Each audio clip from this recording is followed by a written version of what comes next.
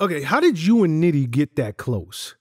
Because I know I know you just told us how you met him, but it seemed like y'all had a special bond. Well, what, no, all right. So here's the deal.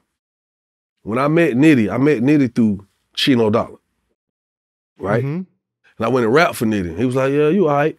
And you know, I'm looking at this motherfucker like, "I'm all right." Nigga, who tell you you just all right to your face? I'm looking at him. I'm like, he entitled to his opinion. So him saying I'm all right, he gave me some beats. He like, he all right. Like, all right. So at that point, I was like, he don't, he don't really fuck with what I got going. He ain't rocking with my sauce, so it cool. And um, so we went to a meeting with ASCAP with Ian Burke. And um, I saw Nitty. I like, boy, what's up? I like, hey, hold up, hold let me give you some. I'm gonna give you this CD. I said, look, I don't want nothing from you. I ain't asking you for shit. I just want you to give me your honest opinion about this. I said, this my little sis right here, all right? I said, listen to this shit. Just tell me what you think. Here go my number shit. He like, yeah, well, what Chino? I said, Chino doing his thing. We good. I said, me and Chino, we rocking. You still good? He like, I listen to it. So I go back inside, but nobody saw me make this move because I went to the car for something. I- I, didn't go to the car because I didn't even know Nitty was there.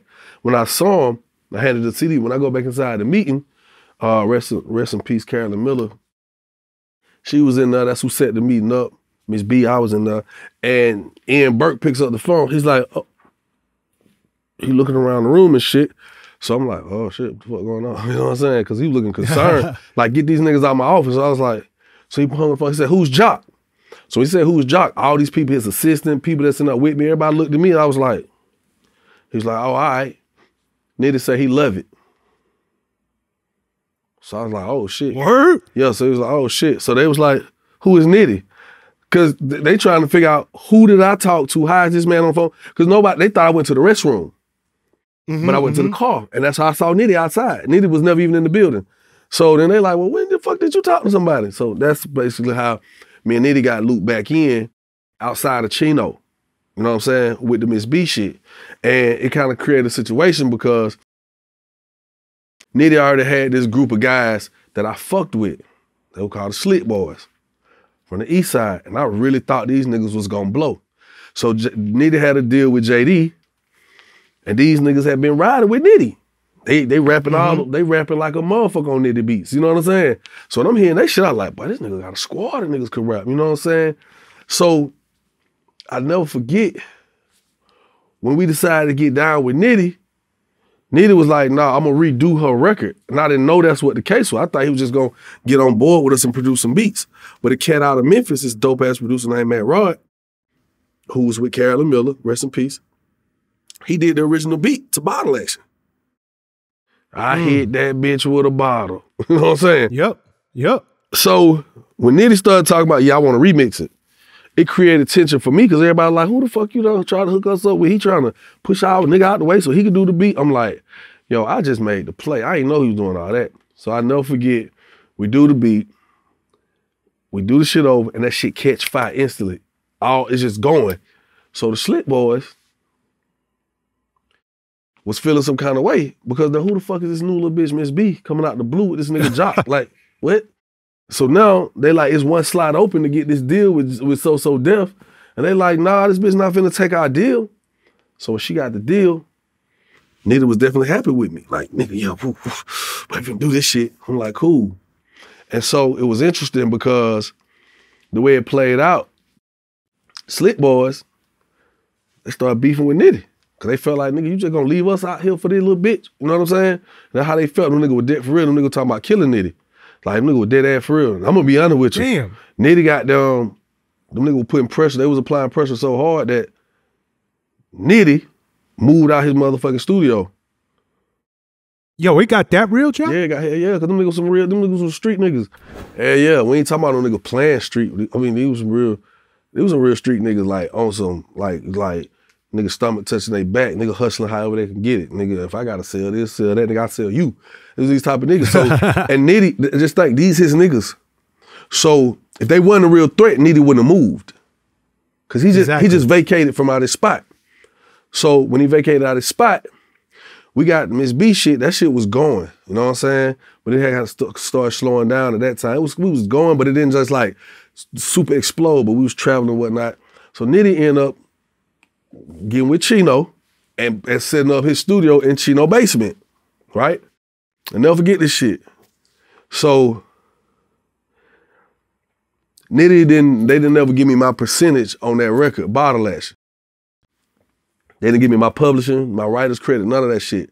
And it was fucked up because I was like, damn, hold up. But I was like, it's just one song. I know I got I got plenty more in me that I could we we gonna win on. So I ain't wanna I ain't wanna stir the pot. I ain't wanna ruffle no feathers. So I just kind of, you know how a young nigga kind of just fall back like, all right, I'm I'm gonna play this shit cool. So I never forget Nitty making a beat in, in, in the basement, Chino spot. I went up. He got frustrated because he kept getting these threats. So he just like, fuck it, I'm finna leave, man. He wanna go. So Chino like, hold up, hold up, hold up. Don't don't erase that beat. Let me get that beat. I'm gonna get the job. So when Chino got that beat, it was it was a beat that I had a concept for myself and Miss B. And I gave Nitty the concept. He took the he took the concept to Gucci, and then it became a Gucci and Mac Breezy record. Shawty got her ass on her, on her. I'm gonna put my Oh. hands on her. On. You know, remember that shit? Yeah. My Uh. shit was uh,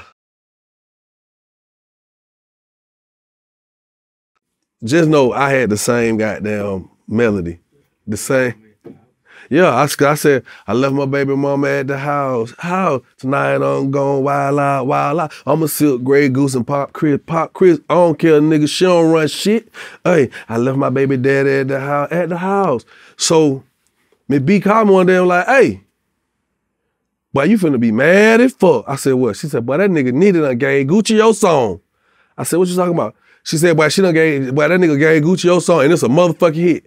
I said, Free said, he ain't called you? I said, nah. She like, but you gonna be ready to shoot that nigga. I was like, for real? So now I'm having this moment of, of, you know, the moments you always heard about them nightmare stories for artists. It's like, man, this nigga done got me. Y'all already done give me publishing on this song, and this nigga done gave my song to a nigga. So I never forget Nah, going. this is that welcome to the music Welcome industry. to the This music industry. 4080. Foo But go Foo 101. So I walk in the studio, he like, hey, but you heard you, you, heard the record I gave Gucci?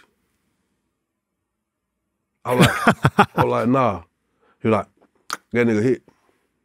That boy rolled. I like, let me hit. Soon as he played, I'm like, I'm like, man, I'm finna shoot this nigga, dog. Like on on, on gut, on my mama, dog. I, I like I, I started like clicking, but I had to control that shit because I like you can't be emotional. Like I ain't want to feel like no bitch and be bitching out about it, but then I also didn't want to be played like I was no bitch either. So when he looked at me, he like, what wrong, dog? I was like, I was brief. He said, what you think about it? You good? I was like, yo, he like, what you think about it? I said, I think that's my song, nigga. That's my melody. That's my that's my everything. It's the concept, me and Miss B. Instead, you gave to Gucci and Mac Breezy. And he was like, how your song went? I just walked out the studio. I just had to walk out the studio. So at that point, he knew he had crossed me. He knew I was upset. He knew Chino was upset about it. Cause Chino the one who got there and told nigga to say the beat. You feel me? Mm-hmm. So now I'm sitting here like, man, this nigga done gave him a song. Like, what the fuck? Even if, even if, if even when even when Gucci see this, even if Gucci remember, I don't know, but you know how a producer could come in there and say, I think you should put a girl on this. He might, he might Gucci may have never heard my words. He may have never heard the uh, the original melody from me. But if Nitty as a producer say, you know, something, da da da da da da da, you know what I'm Yeah, saying? yeah. So Gucci may be looking like when he hit it, he might be like, what, what? But this the fucking truth.